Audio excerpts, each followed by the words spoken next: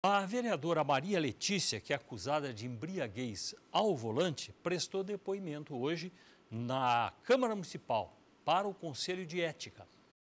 O Conselho de Ética ouviu em dois dias nove testemunhas. A vereadora foi a última a ser ouvida. A defesa da parlamentar tem, a partir de agora, dez dias úteis para apresentar as alegações finais. E depois disso, o relator do processo vereador professor Euler, do MDB, também vai ter 10 dias úteis para concluir o parecer sobre o caso. O relatório está sendo lido em reunião e deliberado pelos membros do Conselho.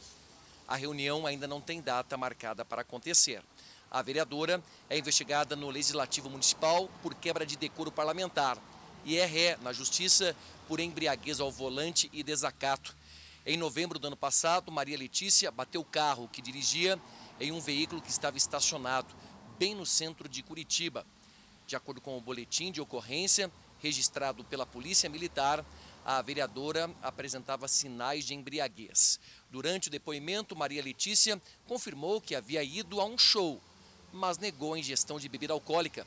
Ela afirmou que passou mal ao volante devido ao uso de medicamentos controlados. Na época da batida, a vereadora disse ter sido diagnosticada em 2015 com neuromielite óptica, uma doença autoimune. A vereadora questionou a abordagem da polícia. Ela disse que se sentiu agredida e que deveria ter sido socorrida e encaminhada para atendimento médico e não levada presa. Ainda segundo a vereadora, na delegacia, ninguém teria pedido que ela fizesse o teste do bafômetro. Sobre o exame toxicológico, Maria Letícia confirma que se recusou a fazer porque toma medicação à base de canabidiol e sabia que o teste apontaria a presença de THC, que poderia ser entendido como uso de maconha. É um caso que está em andamento, a pressão dos que acham que devem condenar, também tem a turma do deixa disso, os colegas da própria Câmara Municipal. É algo que não sabemos ainda como é que vai terminar esse julgamento.